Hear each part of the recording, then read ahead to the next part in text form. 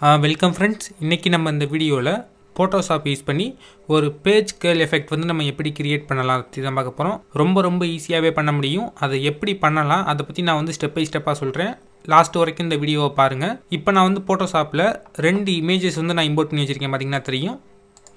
இப்போ நான் வந்து ரெண்டாவது இமேஜை ஹைட் பண்ணிக்கிறேன்.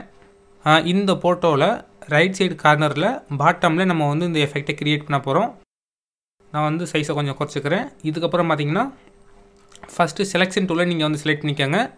இதுக்கு ஷார்ட்கட் பார்த்தீங்கன்னா எம் கொடுத்துருக்காங்க. இப்போ நான் வந்து இந்த கார்னரை மட்டும் நான் வந்து செலக்ட் பண்ணிக்கிறேன். பார்த்தீங்கன்னா தெரியும். நான் வந்து செலக்ட் பண்ணிக்கிட்டேன்.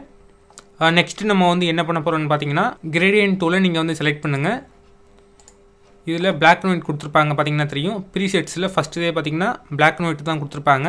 இதை நீங்கள் வந்து செலக்ட் பண்ணிக்கோங்க. செலக்ட் பண்ணிவிட்டு நான் வந்து ஓகே கொடுத்துட்றேன். ஓகே கொடுத்ததுக்கப்புறம் இப்போ நம்ம செலக்ட் பண்ணியிருக்கிற ஏரியாவுக்குள்ளே மட்டும் ட்ராக் பண்ணுங்கள் இப்போ வந்து நான் ட்ராக் பண்ணுறேன் இப்போதைக்கு நமக்கு இந்த கிரேடியன்ட் எஃபெக்ட் வந்து ஆட் ஆயிடுச்சு பார்த்தீங்கன்னா தெரியும். இப்போ நீங்கள் வந்து டீசெலக்ட் பண்ணுறதுனால டீசெலக்ட் பண்ணிக்கோங்க. கண்ட்ரோல் டி மேக் யூஸர்னா கமாண்ட் டியை ப்ரெஸ் பண்ணி டீசெலக்ட் பண்ணிக்கோங்க. நெக்ஸ்ட்டு நீங்கள் வந்து எடிட் இந்த மெனுவை ப்ரெஸ் பண்ணுங்கள் இதில் ட்ரான்ஸ்ஃபார்ம்னு ஒரு மெனு கொடுத்துருப்பாங்க. இந்த மெனுவில் ரேப் அப்படிங்கிற ஒரு எஃபெக்ட் கொடுத்துருப்பாங்க பார்த்தீங்கன்னா தெரியும். இந்த மெனுவை ப்ரெஸ் பண்ணுங்கள் இப்போ வந்து நான் ப்ரெஸ் பண்ணுறேன் ப்ரெஸ் பண்ணதுக்கப்புறம் நமக்கு வந்து இந்த மாதிரி தான் வரும். இதில் இந்த கார்னரை மட்டும் நீங்கள் வந்து மூவ் பண்ணுங்கள் இப்போ வந்து நான் மூவ் பண்ணுறேன் ஸோ இதை வச்சு தான் நம்ம வந்து இந்த பேஜ் ஸ்கேல் எஃபெக்ட் வந்து நம்ம க்ரியேட் பண்ணுறோம் பார்த்தீங்கன்னா தெரியும். ஒரு பக்கத்தை நம்ம வந்து எந்த மாதிரி திருப்புவோமோ அதே எஃபெக்டை நம்ம வந்து க்ரியேட் பண்ணுறோம் உங்களுக்கு எந்த அளவுக்கு தேவைப்படுதோ அந்த அளவுக்கு நீங்கள் வந்து இந்த எஃபெக்டை ஆட் பண்ணிக்க முடியும்.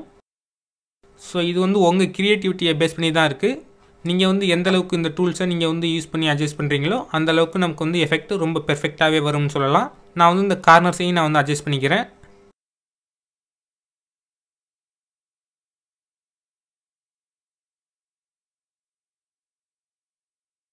ஃப்ரெண்ட்ஸ் இப்போ நான் வந்து அட்ஜஸ்ட் பண்ணிட்டேன். இதுக்கப்புறம் நான் வந்து என்ட்ரை ப்ரெஸ் பண்ணிடுறேன்.